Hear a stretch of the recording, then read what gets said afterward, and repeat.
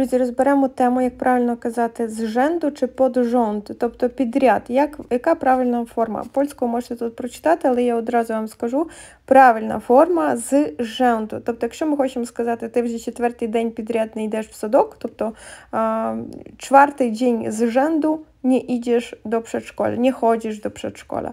Drugi miesiąc z rzędu, trzeci maraton z rzędu, тут як тут.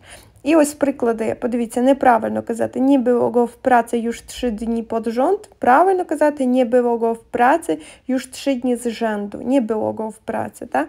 Z rzędu. Dalej, czasami popełniam ten sam błąd dwa razy pod rząd. Czasami popełniam ten sam błąd dwa razy z rzędu. Ось так треба казати. Ona zaśpiewała kilka piosenek pod rząd. Ona zaśpiewała kilka piosenek z rzędu. Тобто правильна форма.